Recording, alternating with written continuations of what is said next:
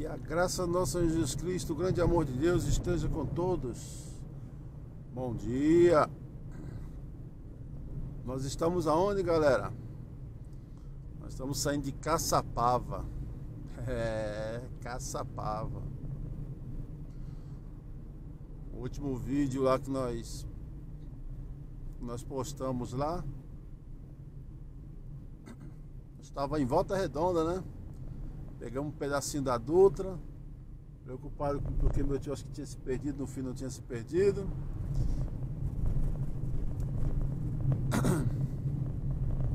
O que que aconteceu, galera?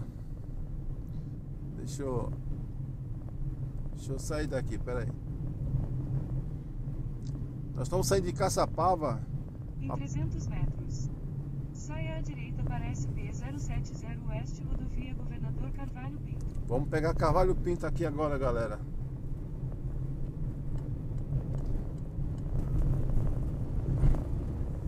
Vamos pegar Carvalho Pinto. Saia à direita para SP070 Oeste, rodovia Governador Carvalho Pinto.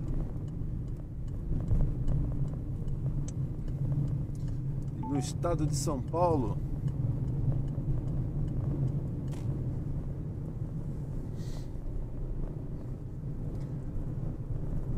Que, que aconteceu, galera? Meu tio me convidou a dormir na casa dele, porque já, já era quase 10 horas da noite. E eu acabei ficando na casa dele aqui em Caçapava.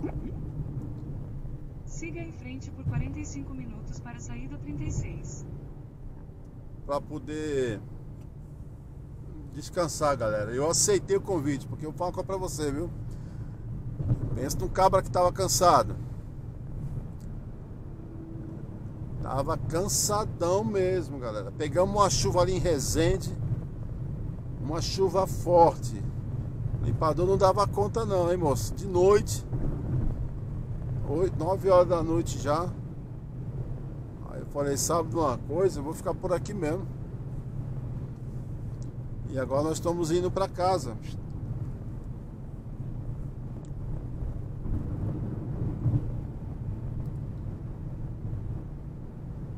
Graças a Deus. Terminando aí, a, terminando a, o restinho da viagem. Sentido saindo de, do Rio Grande do Norte até Cubatão, no estado de São Paulo. A viagem foi uma benção, galera, uma benção. Nós tínhamos saído de Itaobim. Se eu fosse direto para casa, nós ia chegar em casa à meia-noite, uma hora da manhã, né, Leo? Meia-noite, uma hora da manhã. Mas, graças a Deus aí. Se, se, se, se meu tio não morasse aqui em Caçapava, porque ele vinha com a gente, se meu tio não morasse em Caçapava, ou ia parar no hotel, ou ia parar um pouquinho e continuar a viagem, ou ia decidir alguma coisa, né?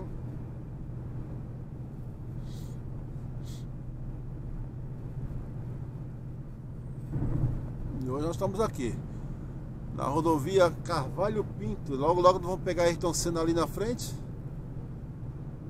para seguir o resto da viagem.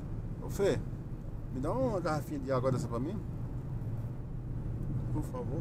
Abre mim, né? Garganta seca.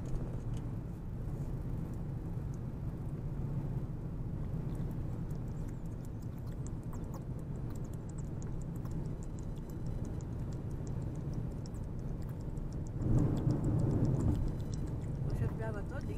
Bichinho. Hoje, Uh, daqui a pouco eu quero ir no banheiro. a gente para. Rapaz, eu tava com sede, galera. Tomei 500 ml de água. São Paulo, terra da garoa.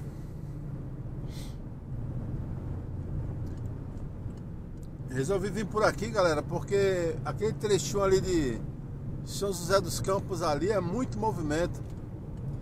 Então não compensa você você pegar aquele trechinho ali. Então Cavalho Pinto aqui para nós é o essencial. Sem contar que a velocidade aqui é 120 por hora, né? 120 km por hora.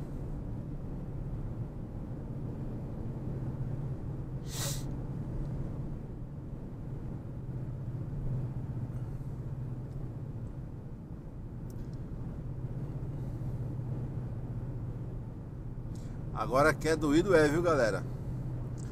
Você sair lá do Rio Grande do Norte. Vocês viram no vídeos aí que tem muita imprudência. Muita imprudência. Rapaz do céu, é muita imprudência. É por isso que o povo morre né, no trânsito. É inacreditável.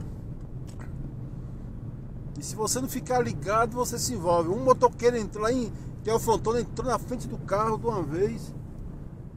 Eu falei, caramba, esse cara é doido, mano. O cara ultrapassando pela faixa contínua, fazendo um monte de caca. Você sem saber, eu tenho que ficar ligado. Aí você fica cansado mentalmente.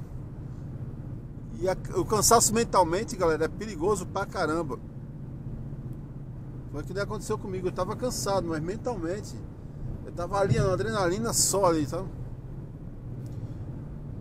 O automóvel é, é diferente do, do, do, do, do caminhão. Galera, no caminhão eu tenho muita visão, muita visão panorâmica. A visão é maior. E quando eu estou rodando com o caminhão, eu tenho um horário para parar o caminhão. Eu sou obrigado a parar no máximo 18 horas. Então 17 horas eu estou procurando, entendeu? Procurando já posto para dormir. E quando e quando você está com caminhão,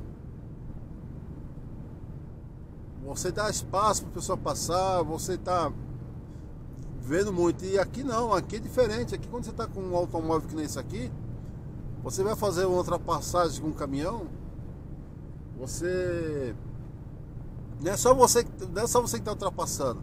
Aí vem aquele cara com aquele carrão aí, você está com um carro mil, você tá ultrapassando, o cara vem com o carrão te ultrapassando pelo outro lado.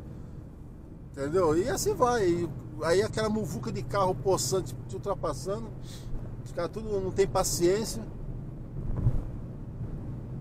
Aí você dá espaço para a pessoa passar.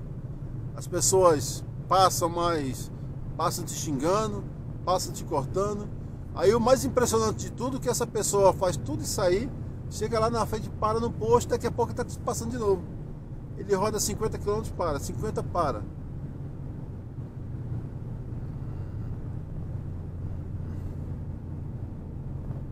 Aí fica difícil também, né?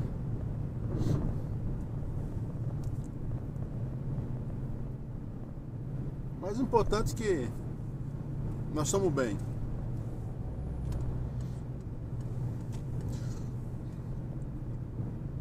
Não existe rodovias perigosas, galera. Existe motorista imprudente. Às vezes, às vezes você vai fazer uma ultrapassagem, você é obrigado a obrigado a a, a, a dar uma segurada maior para os outros poder passar, entendeu? Porque você sabe que não vai ultrapassar, conseguir ultrapassar aquele, aquele, aquela pessoa.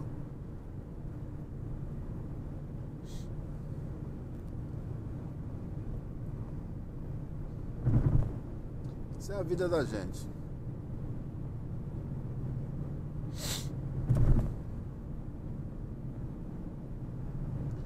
São Paulo, São Paulo é, o, é a nossa passagem nesse momento, galera.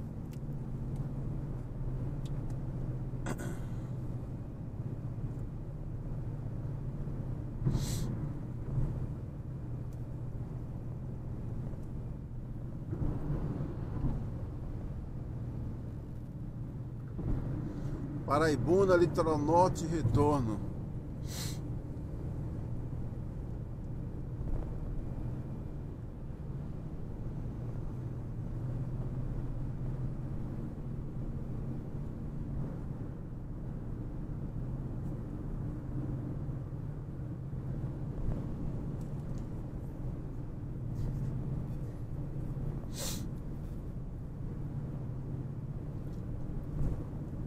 Guararema a 26 km, Jacaré 126, São Paulo a 84 km.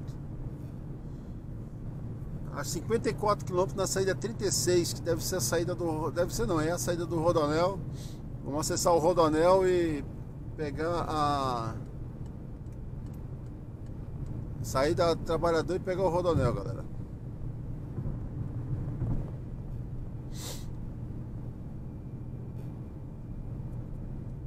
Tem um posto grau aqui na frente, um frango assado.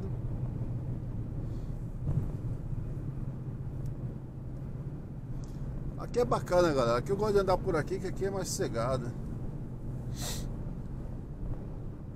Até agora nós rodou 2.827 quilômetros.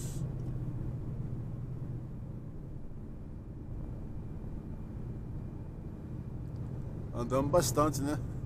né, Deu? Andamos bastante.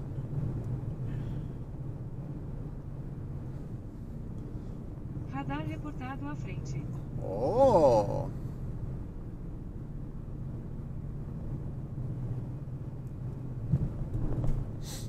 Olha aí, galera, 120 por hora.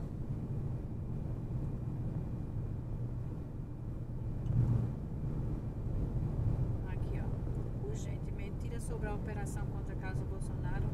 É esse ponto. Beleza, galera? Tudo de bom? Deus abençoe. Vamos que vamos. Lá na frente a gente abre outro, outro vídeo pra você. Abraço. Vamos que vamos. Vamos que vamos. Só passar o pedágio aqui pra vocês aqui. Pra gente.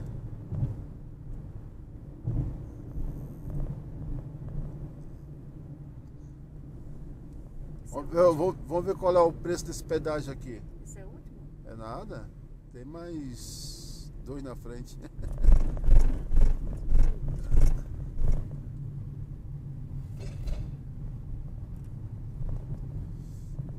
Passamos. Abraço, galera. Deus abençoe a todos e vamos que vamos. Até a próxima, até o próximo aí. Fazer o último vídeo para nós chegar perto de casa lá, tá bom? Abraço a todos.